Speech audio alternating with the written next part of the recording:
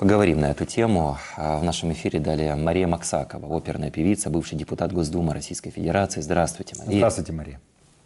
Здравствуйте, я приветствую наших зрителей.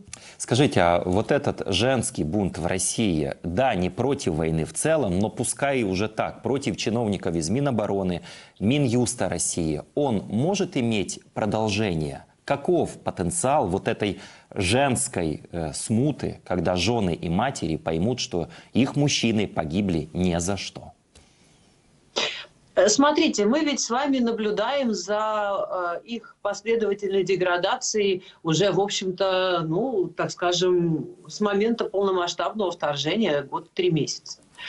То есть э, первоначально даже у меня были иллюзии, что можно к ним воззвать, а, можно, я там почти, я не знаю, ежедневно вела эфиры в надежде, что надо преодолеть э, вот этот информационный пузырь, который создала пропаганда, объяснить, что на самом деле вытворяют их так называемые мальчики, и тогда они Э, прозреют, выйдут э, с протестами э, и будут, соответственно, требовать, чтобы Путин свои преступные войска вообще вывел из Украины.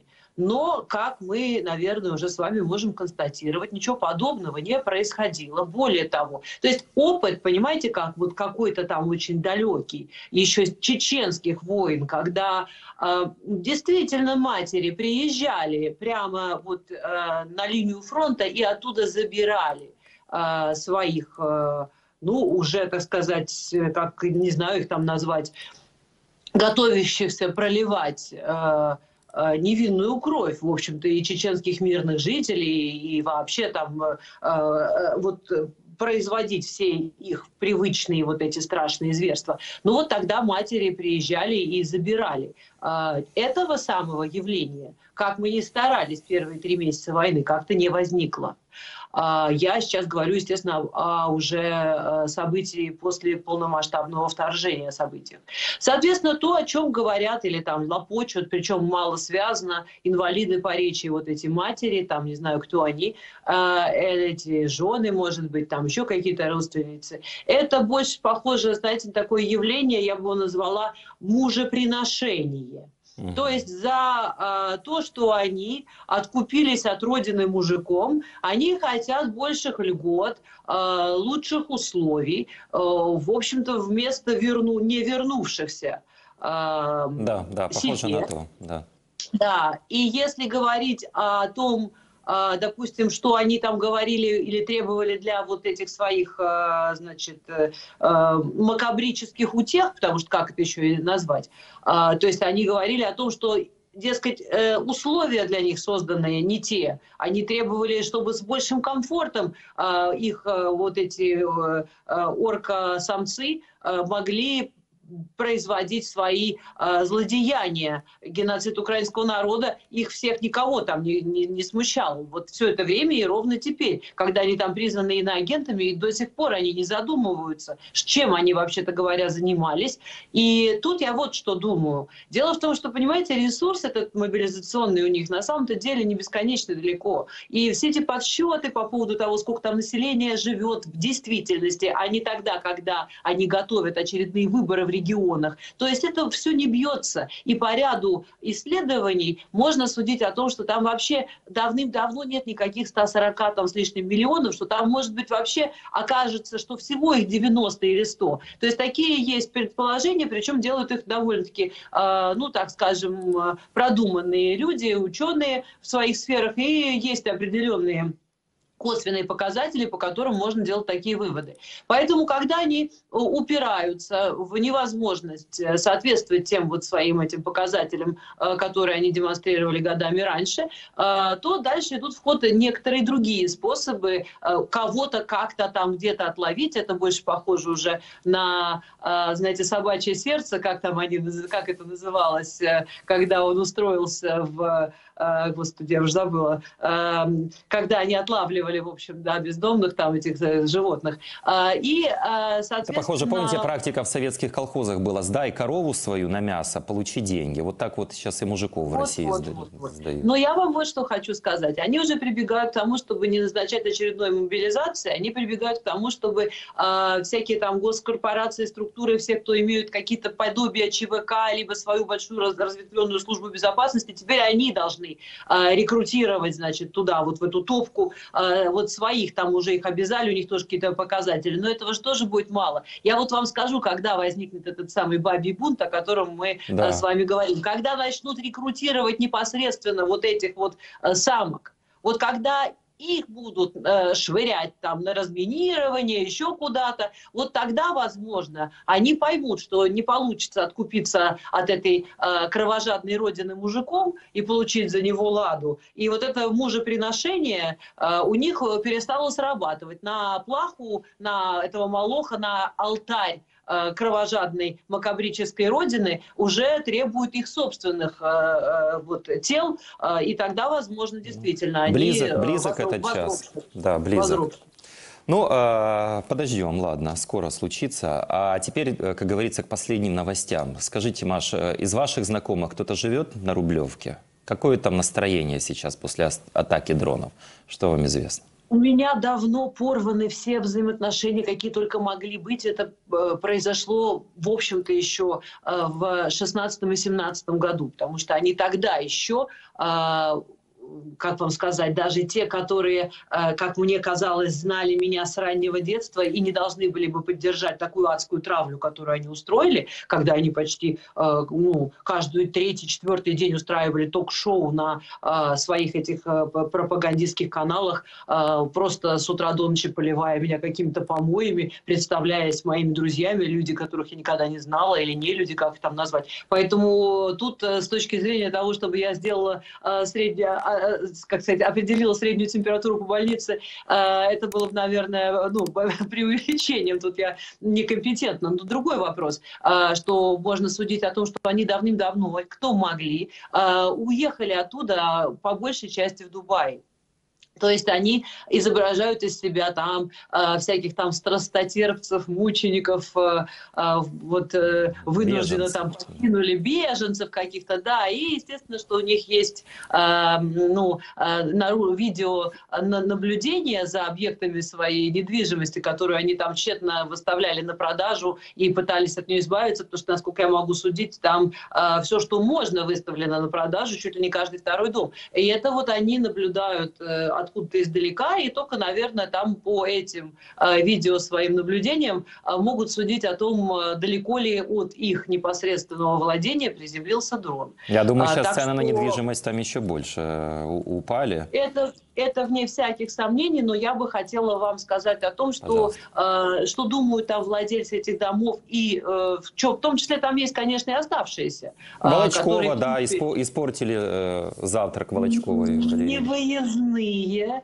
потому что у них очень большой процент э, чиновников, не только силовиков, а целого ряда там э, категорий, которых они лишили заграничных паспортов. Поэтому, конечно, там есть определенный, э, определенное количество все еще проживающих, и они, безусловно, э, ну, так сказать, э, взбодрились, э, наверняка нервничают, думаю, что э, такие, знаете, адреналин э, такие, знаете, закипает э, у них в черепных коробках, и предполагаю, что они, наверное, делают такой новый коктейль из алкоголя, которого они э, достаточно запаслись э, в своих вот этих погребах, наверное, э, стакан адреналина на литр боярышника. Вот это, мне кажется, их новый э, антистресс э, коктейль. И вы правы совершенно. Вот Волочкову, к примеру, мне кажется, дрон застиг врасплох, когда она находилась, скорее всего, в своем знаменитом шпагате. И предполагаю, что отодрать ее уже от пола вызывали наверняка соответствующие соответствующие службы, МЧС, возможно, скорую помощь, но они, как правило, оказываются бессильны. Тут уже надо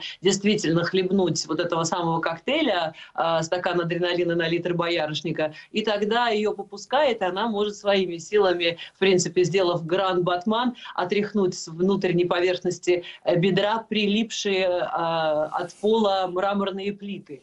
А, вот. И, соответственно, а, ну, кто-то уже шутил по поводу того, что, в принципе, она и скорректировала отчасти. То есть э, а, сейчас, насколько я знаю, вот э, эти гаражные кооперативы, которые в большом количестве изготавливают дроны и направляют их э, на Рублевку. Э, ну вот э, это же просто они там все время все спихивают на кого-то, вот э, находят виноватых, там какие-то центры принятия решений обвиняют, еще что-то. А вот свои гаражные кооперативы в России они плохо проверяли, потому что мне кажется, что вот гаражный кооператив против кооператива «Озеро» — это такое новое повстанческое российское движение.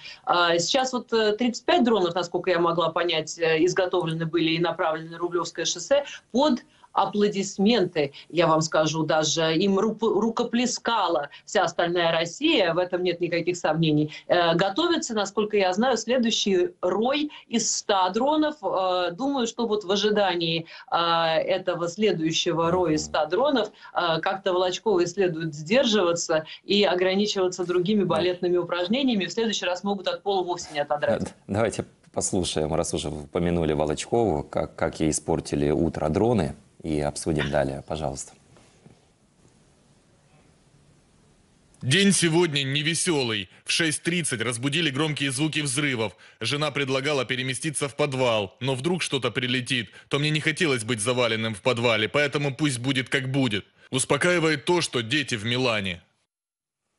Так, это другой житель Рублевки, коллекционер и э, известный. Э, говорит хорошо, что семья в Милане, но ему тоже утро не понравилось.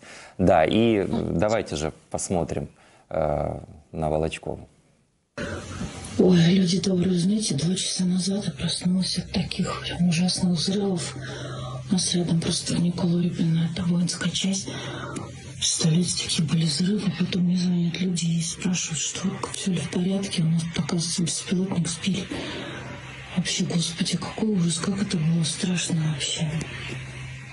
Знаете, да, как это было страшно. Вы правильно сказали, эти жители этой элитной Рублевки взбодрились, но согласитесь, сопоставлять то, что переживают украинцы каждый день, а, каждую ночь, все эти нескончаемые ракетно-дроновые обстрелы, разрушения, жертвы, когда гибнут дети э, со своими мамами, как это случилось вот прошлой ночью в Киеве в результате очередного э, теракта э, России.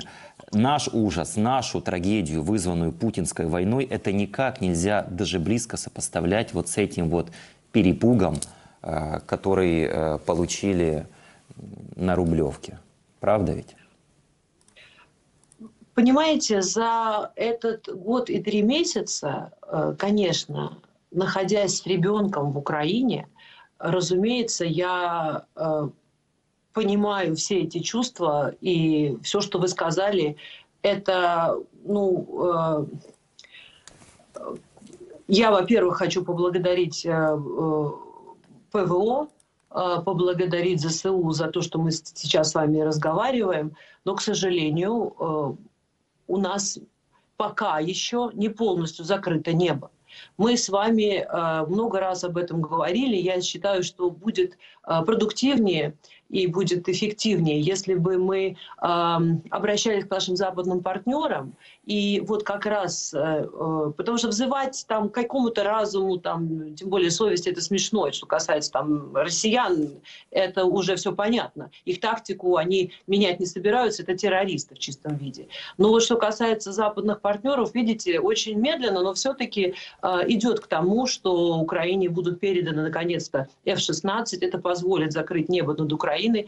А, сейчас э, речь идет о том, чтобы Германия передала а, Таурус, по-моему, называются ракеты, могу ошибаться с названием, но это ракеты Таурус, да, Таурус. 500-километрового радиуса действия. А, Также идет постоянно разговор об, о ракетах «Атакамс». Об этом первый раз заговорил еще а, Валерий Залужный, главнокомандующий ВСУ. А, Уже скоро, наверное, год как пройдет с того момента, как вышла его статья в а, британской прессе на эту тему. То есть очень медленно западные партнеры идут, в конце концов, на эти шаги, идут все же. И я думаю, знаете, чтобы повысить нашу эффективность, было бы очень здорово, если бы те, кто нас слышит а, за границей, а, украинцы, диаспора или просто неравнодушные граждане своих стран сопровождали каждый такой запрос, который делает военно-политическое руководство Украины к соответствующим э, политикам э, иностранным, то есть будь то э, в данном случае Олаф Шольц или э, Бундесвер, или Белый дом, или лично Байден, у них у всех у этих политиков есть твиттеры, есть Facebook, есть Инстаграм. Э, э, Они все замеряют э, запросы, которые поступают туда. И я считаю, было бы очень эффективно эффективно, если бы мы увеличили, как бы, знаете, вот запрос этот, то есть э, сопровождали каждый, э, каждую просьбу военно-политического руководства Украины к каждому конкретному а, эм, лидеру а, другой, другой страны, другого государства, вот таким, знаете, вот такой массовой поддержкой этой просьбы, а, и вот писали бы «provide attacks to Ukraine ASAP», geben Sie, geben Sie uns bitte die Taurus-Waffen или там give F-16 to Ukraine. То есть это нужно делать так, чтобы это ощущалось в их социальных сетях. Это все читают их политтехнологи, это все видят те, кто готовит их каждый раз к следующему предвыборному циклу. Не будем забывать, это политики, они зависят от своих рейтингов. Если они почувствуют со стороны своих граждан запрос на подобные э, поставки, вот на помощь более активную, более быструю, более э, такую, знаете, ощутимую Украине, то они будут это делать быстрее. И тогда, мне кажется, мы тоже почувствуем, что мы вот э, в одном каком-то порыве более эффективно действуем. Маш, ну это идеальная схема, конечно, хотелось бы. Все, к сожалению, э, сверяют э, свои национальные интересы, свое политическое будущее, соответственно, тому или иному решению. Э, все, некоторые пытаются вообще какую-то выгоду иметь с этой войны, поэтому увы. Но, тем не менее, возвращаясь э, э, к событиям на Рублевке, скажите, пускай вот этот минимальный перепух получила российская элита, ведь все равно этот психоэмоциональный эффект, он, он значителен, и люди там непростые, ведь мы знаем, куда полетели дроны, в каком направлении. Там и э, усадьбы братьев Ротенбергов, там и руководство Минобороны, э, тот же Суровикин дом, Шойгу, э, ну и, и так далее, и так далее. Ведь э, эти люди задаются вопросами, что происходит. Простые, вот такие, как этот коллекционер, вообще думают, а где же наше хваленое ПВО, как это все можно допустить, а что ж царь не настоящий и так далее.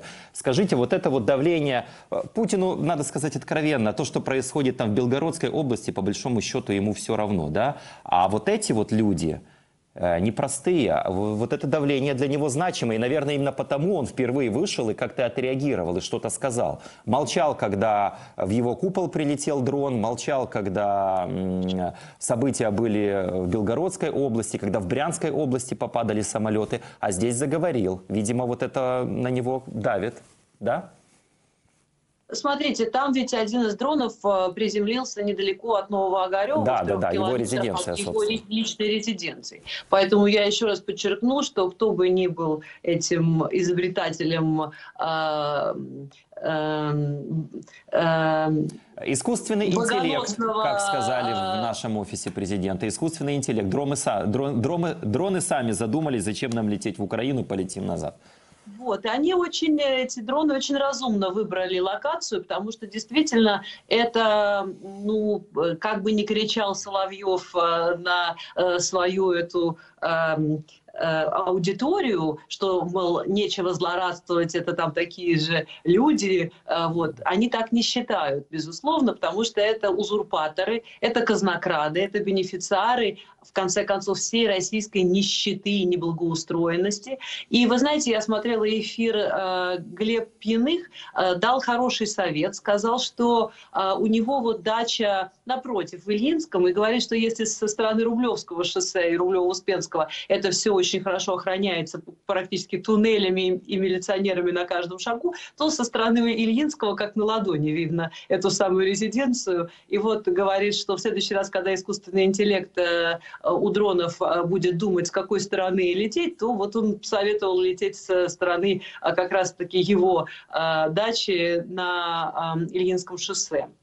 И тут, знаете, наверное, надо проговорить вот какой момент. Ведь когда незадолго до развала Советского Союза на Красную площадь приземлился Матиас Руст, тогда советские люди, которые были все-таки гораздо лучше образованы, чем нынешние россияне, они, конечно же, сразу поняли, вот одного разу было достаточно, чтобы понять, насколько дырявое все у них, нету никакого ПВО, а, то есть э, все сколько километров там уже по территории, а, над территорией Советского Союза летел Руст, ничего его не сбило, не увидел, не заметил и так далее. Поэтому э, ну, это было как бы стрессом, шоком для многих в Советском Союзе, потому что э, ну, на эти оборонные бюджеты э, выделялись колоссальные деньги, там вся фактически страна работала на этот ВПК, а тут выяснилось, что они совершенно, так сказать, голые, и просто обычный любитель может сесть на чуть ли не лобное место. Ну вот я вам хочу сказать, что начало этого расколдования, так сказать, этой пропаганды, оно началось, я считаю, вот этот процесс начался э, с момента как раз, когда дрон э, летел и, и в общем-то, э, так сказать, отчасти даже зажег благодатный огонь, так бы я сказала, не, заш, не зашел на 17 купол, да, и, но поскольку ныне у россиян, в общем-то, память почти что как у рыбы гуппи, то им надо напоминать. Чаще, чаще одного раза, как с Матиасом Рустом, оказалось, видимо, недостаточно, и пропаганда опять заволокла их разум иллюзиями. Ну вот теперь э, посмотрим после э, вот этого случая с 35 дронами. Э, вроде бы уже больше оказалось, так сказать, э, иллюминатов, пробудившихся каких-то, как-то они занервничали. Э, но, может быть, теперь, я же говорю вам, настолько боярышника кого-то опять э, несколько притупит. Но надеемся, что в ближайшее время будет уже 100 дронов. Я слышала, что такие планы есть. И вот мне кажется, что каждый раз со все нарастающей волной э, будут, будем добиваться добиваться, вот, э, дожидаться от них э, соответствующего... Будем. Ну, вот, Будем. Да, только так. То ли, только так. Спасибо. Спасибо, Мария, вам за этот разговор. Напоминаю, Мария Максакова была в нашем эфире. Э, всегда вам рады, Маша. До новых встреч, до свидания. Спасибо вам большое. Да, всего хорошего.